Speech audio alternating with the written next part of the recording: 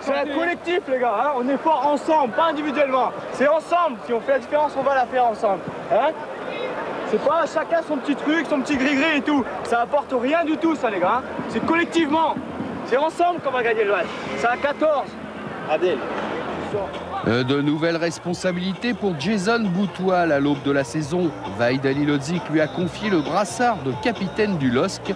Une fierté supplémentaire pour celui qui incarne le mieux l'identité du club nordiste. c'est une fierté parce que bon, je suis, je suis d'ici, hein, je suis du coin, donc euh, porter le brassard de, de, son club, c'est toujours bien.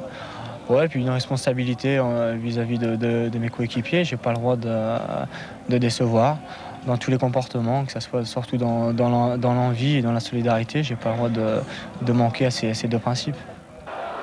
Envie, solidarité, de qualité parfaitement retranscrite sur le terrain et qui explique en partie le remarquable début de saison lillois. L'envie également de prendre tout de suite le match à son compte avec une première alerte sur le but de Louan Cuiseau. Cette tête de Fernando D'Amico, l'Argentin du LOSC, pour tester Arnaud Marguerite. Euh, Philippe Insberger, l'entraîneur louanais, aligne une équipe au tempérament offensif. Mermet et Bale, deux milieux stabilisateurs, sont encore à l'infirmerie et leur absence se fait sentir en ce début de rencontre. Et Boutoil se signale avec cette frappe euh, non cadrée. Pas le temps de respirer, le ballon revient déjà dans le camp de Louan Cuiseau. Ça combine bien à Lille avec Agasson qui décale parfaitement Boutoil la frappe de Captain Jason finit sur le petit filet de Marguerite. Pas d'inquiétude en tout cas pour Ali Lodzi qui suit d'un œil attentif ces vagues lilloises déferlées sur la défense des 100 et or.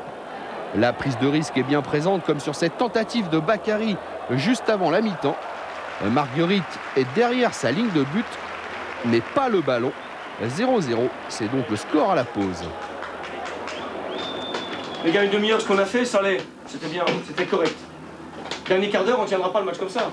Dernier quart d'heure, les mecs, ils prennent le ballon, ils arrivent à 20 mètres de nos buts. Ils frappent, ils, ils, font des 1-2 et tout. On va, on mourir. On va encaisser, après on est mort. Alors on reprend comme on est parti au début. Ça arrive, putain, ça arrive par vague. On reprend tout de suite, là. Hein. Si on reprend pas tout de suite, on va à la rue, on est à la rue. On va à la mine. Ensuite, je vais vous dire, il y a des coups à jouer tout le temps. Tout le temps. C'est pas toujours la grande sérénité là-bas. Je vous dis, il suffit d'un coup. Ah oui, il suffira peut-être d'un coup, mais pour l'heure, ce sont toujours les Lillois que l'on retrouve en position offensive. Laurent Perlade sur le côté est esselé, sa volée est cadrée. Marguerite, impeccable sur sa ligne, peut du pied éloigner le danger. Et pas pour longtemps, attention à ce coup franc de famille, la frappe du Marocain file juste à côté. Abdeli La Famille, l'une des recrues lilloises, connaît bien Vaïd Lodzik.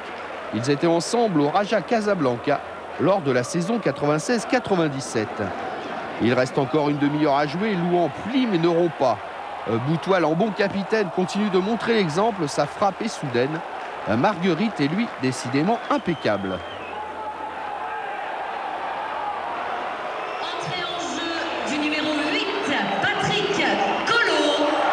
21h27, Patrick Colo remplace Dagui Bakary. 21h29, un corner pour Lille, Boutoil le tire. Le ballon revient dans les pieds de Colo, la frappe est superbe. Marguerite est cette fois battue. Incroyable, moins de deux minutes après son entrée en jeu, Colo libère le LOSC. Son deuxième but de la saison après celui réussi la semaine dernière à Châteauroux. Voilà un remplacement payant. Depuis le début de saison, c'est souvent comme ça, les, remplaçants sont là pour, pour amener quelque chose de plus. Et une fois de plus, on a réussi à, trouver l'opportunité par un, remplaçant. Maintenant, c'est bien pour toute l'équipe et, pour le club. complètement libéré, les Lillois gèrent parfaitement la fin de match. Colo, on le retrouve encore après un corner. Mais cette fois, sa tentative manque un peu de précision. La dernière occasion est encore pour Lille. Un jeu collectif très au point avec à la finition Christophe Landrin. Le poteau sauve le gardien de Louan. Qu'importe, Lille s'impose finalement 1 à 0. Euh, Grimont Préjoris peut faire la fête. Son équipe a parfaitement justifié son statut de leader. Un bonheur tout simple pour Vaïd Alilodzik. Mais vous savez, cette deuxième division, c'est toujours euh, difficile de gagner. Mais quand même, euh, l'équipe a montré encore une fois beaucoup de qualité morale, enthousiasme. Ils ont cru jusqu'au bout. Ben, on était récompensé. Hein. Un petit but, ça suffit. On a été très rarement en mesure de leur poser des problèmes offensivement. On a eu très très peu d'occasions de but sur le match.